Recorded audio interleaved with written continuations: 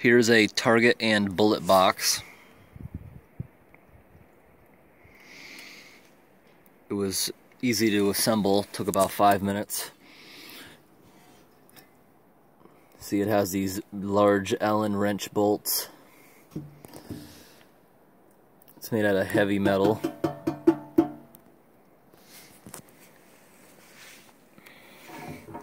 See you fire in here and it collects. This is targets it came from. Here's the targets I'm going to be using.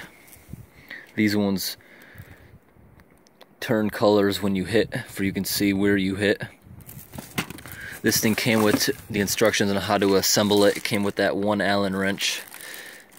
And it tells you the distance you have to be for different types of guns the minimum distance. It tells you to use lead bullets only. It tells you not to use copper jacket or armor piercing.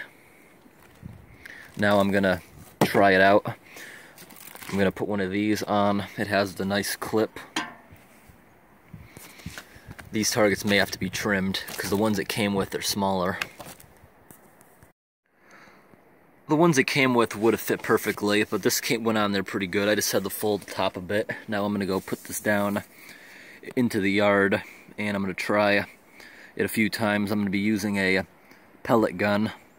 It says in the instructions you can use airsoft for this. For airsoft you can collect all your BBs and you can reuse them. With a pellet gun they're obviously going to crush on impact.